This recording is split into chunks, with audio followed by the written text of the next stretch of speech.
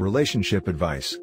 For first story is titled I, 28 mil, broke up with my ex-fiancée, 27 female, of 4 years 2 weeks ago after catching her in a huge lie, and then finding out 3 days ago that she ended herself because I wouldn't take her back. I am in need of some serious advice, as I'm being blamed for everything. Hey guys.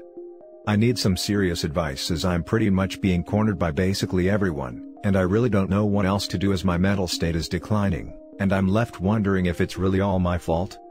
A little background. Me and my ex-fiancée had been together for almost 6 years and engaged for 4 out of those 6 years. I was introduced to her by a close friend at a party, and we just clicked. She was attractive, had a great personality, and had similar hobbies as me which made it perfect. Back in April of this year, I started noticing little changes in her, she started wearing more revealing clothes to work, started putting more makeup and etc. To be honest, I had no problem with any of that stuff, as it's her body, she can wear whatever and put however much makeup she wanted to. But what made things worse for me was, when she started coming home late from work, or how instead of spending the weekend off with me, we both had weekends off from work, she instead was always going out. I once had asked her why she never invited me to come out with her, to which she replied that it's only girls' night out, and that her other friends would not be happy if I tagged along as they were not bringing their own boyfriends with them. It all came crashing down when me and her had a huge fight in June, because she decided that instead of going out on a date with me, she told me how she already had made plans with her friends, and that it was rude of her to cancel. That was it for me, I freaking blew up at her, and we had huge fight which resulted in her packing her bags and leaving. I didn't hear from her for almost a week, none of her friends knew where she was, and heck, none of her folks even knew what was going on until she finally contacted me and wanted to talk. Imagine my surprise when she confessed to me that there was another guy involved, and how all this time she was hanging out with him when all this time she was lying to me about hanging with her friends. I freaking blew up, I wanted nothing to do with her, and was going to break up with her until she got on her knees and begged me to give her a second chance, which my dumbass self did, but only after she revealed everything to me, and she did. It made me freaking sick to my stomach, but in the end, I forgave her, and told her to delete all contact with the other guy, and that I expect her to have no contact with him going forward, which she promised and things kinda went back to before. Heck, we were even spending more time together but that feeling, that trust wasn't there anymore. Everything was kinda okay, until two weeks ago a friend of mine, who was visiting another city which was three hours from where I lived, sent me a picture with the message, sorry bro, that broke my already broken heart into a billion of little pieces. The picture was of my ex-fiancée at a mall three hours away from where we lived, holding hands with some stranger who I didn't know. I freaking broke down, I was heartbroken. She was a witch, a piece of ish, especially since I thought she was at work, while in reality she was three hours away holding hands with her lover. When I got home from work, I waited for her and right away confronted her, which she denied and called me a psycho for not believing her, and that I was a piece of ish for not trusting her, until I showed her the picture that my friend sent me. Her face told me everything, and when the waterworks started, I knew that I had made a huge mistake in taking her back, so I ended it. She cried and freaking begged me to think it over, and not to throw away everything that we have together, which made me freaking angry, and I'm not going to lie, but I freaking slapped her. I was not proud, I'm still not, but she saying crap like, not to throw away everything when it was her who threw away everything, pissed me off. I told her to pack her stuff and leave, called her parents and mine and told them everything, her parents came to help her and I told them to basically screw off, after they told me to think it over and to make the right decision before actually ending it. She begged me not to end things, but I did, had to for my own peace of mind. I did not hear from her or her parents, until three days ago when my parents called me to let me know, that ex-fiancée had ended herself.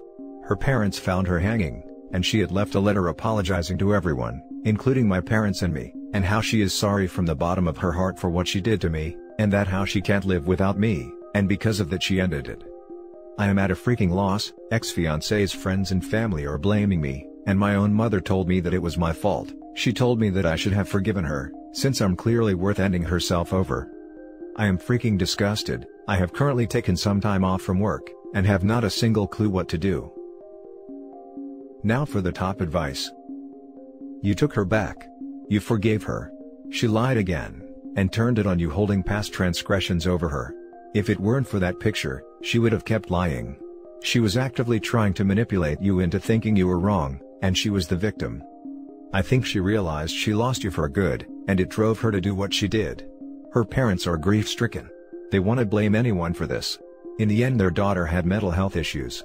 Your mother, being a mother, feels their pain, and also for some reason I don't understand, wants to blame someone. I'm sorry for your loss. Ex or not, this woman meant something to you. Talk to the friend who gave you the heads up. Seems like he was the only one who really wanted what is best for you. If need be, seek therapy just to sort through everything. This is hugely traumatic for you. You even feel remorse for slapping her in a moment of complete betrayal. You have no reason to own what she did. You owned up to emotions overtaking you, and hitting her. You have nothing else to own up to. I wish you the absolute best in this difficult time. OP, clearly you not only have your friend, but from the looks of the comments the support of many commenter. I'm glad my words were of some help. Thank you so much. You have no idea how much this means to me.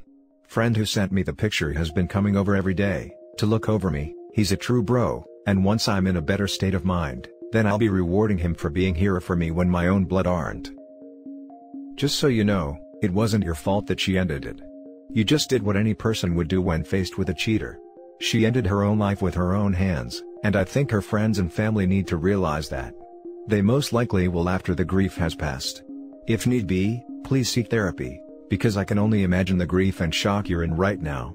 If you start to feel alone and you need a friend, just shoot me a message. I know I'm basically a stranger, but sometimes just talking to someone gets you through another day. I agree. OP, you did what any sane person would do. Even forgiving her for the first time is understandable and acceptable.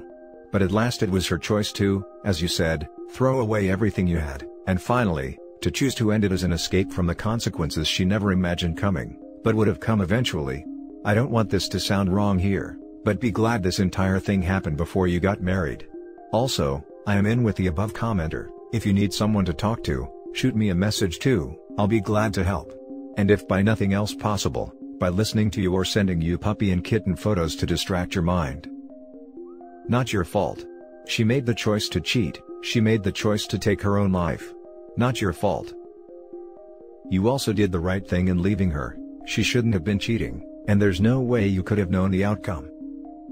Listen here buddy. Even ignoring the fact that it was her who threw your relationship out the window the moment she decided to cheat on you, never ever let anyone blame you for something she decided to do on her own free will.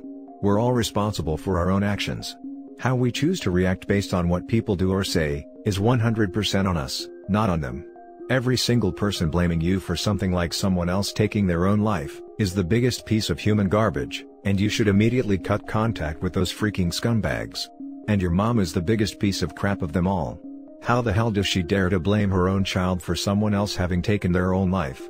How in the name of everything that is holy, could she fathom making you carry such a massive psychological burden?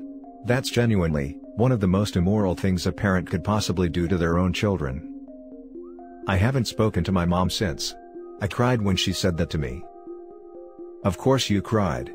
Any sane person would. I am very sorry she put you through this, but in no way shape or form, is any of this your fault. Every single sane person would have dumped her just as you did, if we were in your shoes.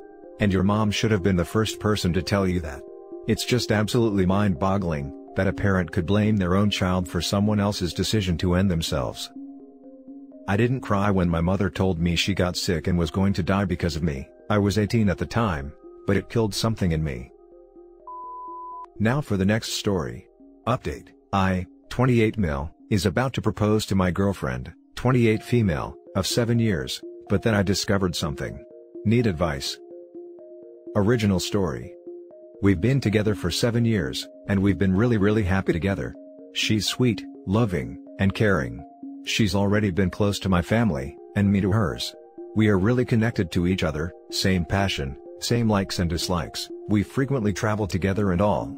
We rarely fight, and when we do, we resolve issues quickly. It's like a perfect relationship. We've been steady, we're genuinely happy in love. Just when I was already contemplating on proposing to her, I felt like she's gone cold for the past month. Just this Valentine's, we were on top of the world surprising one another with gifts and sweet nothings. But the following weeks felt different. Her, I love yous, weren't as enthusiastic. The way she talks and communicates with me feels different. She easily gets upset over trivial things. She seems to be a different person all of a sudden. I actually asked her what's wrong, but she assures me everything is okay, and something is just bugging her. I asked again, but it seems she doesn't want to open up. She assures me though that she loves me very much.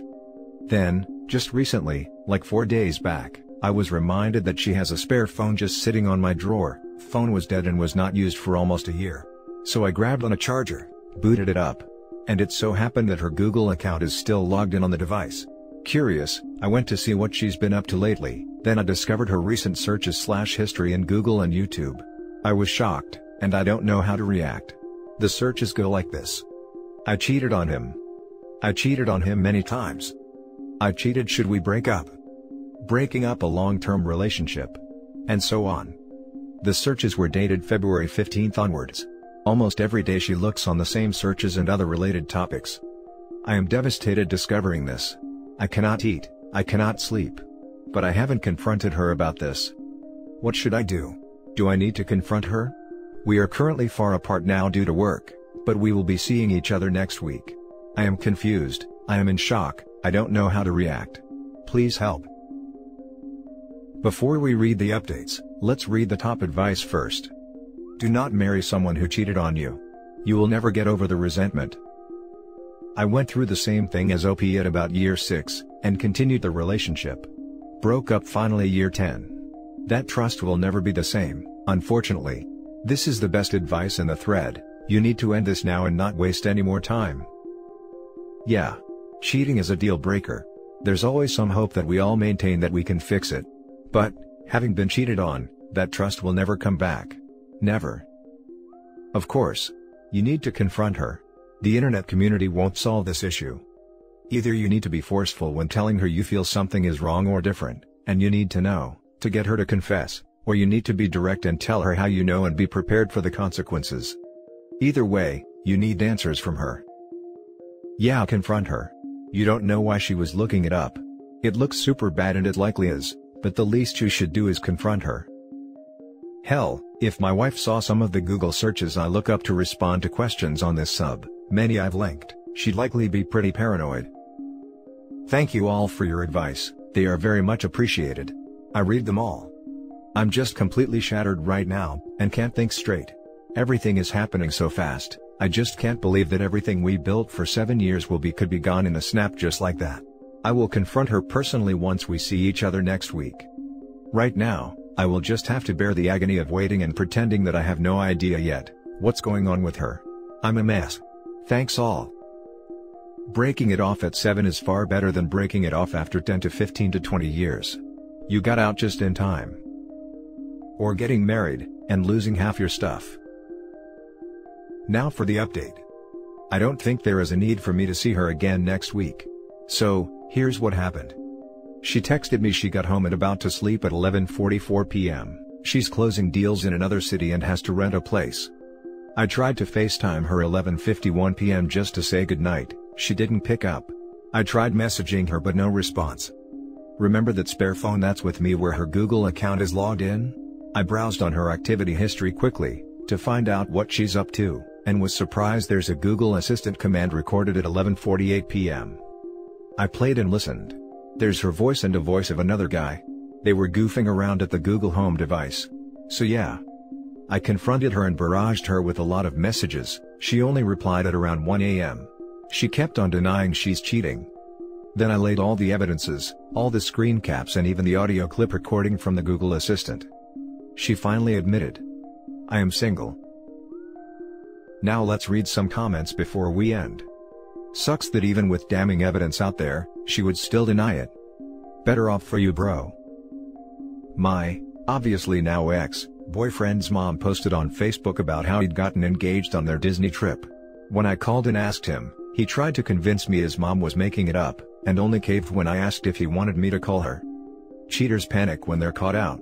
They don't realize how insane their denials sound. It must be tough admitting out loud to being a scumbag. Wait. So, he not only cheated on you, but he proposed to the other woman? Did his mom know he was stringing two girls along? Did you tell his fiancée? So sorry for what you've been through. This is the true start of a new phase of your life. Wish you all the best. Not only that, but don't let this destroy your trust in others.